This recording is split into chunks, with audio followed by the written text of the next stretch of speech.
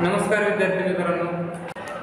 तुम्ही गावी जाताना किंवा कुठं जाताना तुम्ही गाडीमधून प्रवास केलेलाच असेल तर आता त्यावेळेस आपण पाहतो की ज्यावेळेस आपण एखाद्या ठिकाणी जात असताना गाडीचं टायर पंक्चर झालं तर त्यावेळेस काय होते त्या टायरमध्ये सगळी हवा निघून जाते.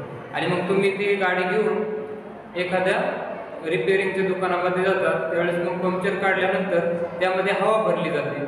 मग हवा ज्यावेळेस भरली जाते त्यावेळेस ती पहिला असेल की एक मोठी टाकी जी आहे ती लोखंडी टाकी असते आणि त्यामध्ये हवा भरलेली असते. ती हवा काय होते? आपल्या टायरमध्ये जाते.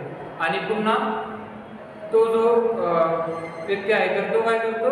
ते मोजून पाहतो. तर ते मोज हवा किती आहे टायरमध्ये? ते मोजून पाहण्यासाठी एक दबकडीसारखं एक जे डिजिटल मीटर आहे तर ते असतं किंवा मग साधं तर दबगडीसारखं असतं. तर ते तुम्ही मीटर पाहिलेलं असेल तर ते जे आहे तर ते हवेचा दाब जो आहे तर तो मोजण्याचं एक साधन आहे. आपण वेगवेगळ्या पदार्थांवरती कशा प्रकारे दाब जो आहे तर तो पडतो तर ते आपण पाहूया.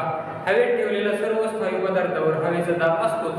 आणि मग स्थायीवर एखादे वजन जर ठेवले तर त्या वजनामुळे स्थायूवरती दाब पडतो. आपण ते पाहिलेलं उदाहरणार्थ आपण एखाद्या वस्तूवरती खोक्यावरती किंवा बॉक्सवरती दुसरा बॉक्स ठेवला किंवा काही लोखंडी वस्तू ठेवली तर ते थोडंसं खाली दबलं जातं.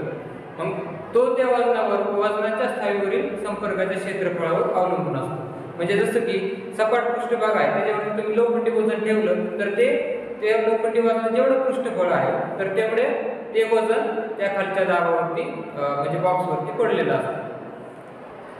तर त्याचं उदाहरण आपण पाहतो. भाजीची पाटी डोक्यावर ज्यावेळेस भाजीवाला घेऊन जात असतो ते तुम्ही पाहिलेलं असतं मग तिच्या डोक्यावर पाठीखाली ती कापडाची एक चुंबळ ठेवते.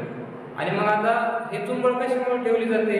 तर जो दाब आहे तर तो एका ठिकाणी त्या पाठीचा आलेला असतो. आणि मग ते डोक्याला पाठीवर तुले नये म्हणून आपण काय करतो? चुंबळ ठेवतो. मग ही जी आपल्याला ह्याच्यावर लक्षात येतं की जो दाब जो आहे तर तो त्या वस्तूचा एका ठिकाणी एकवटलेला असतो.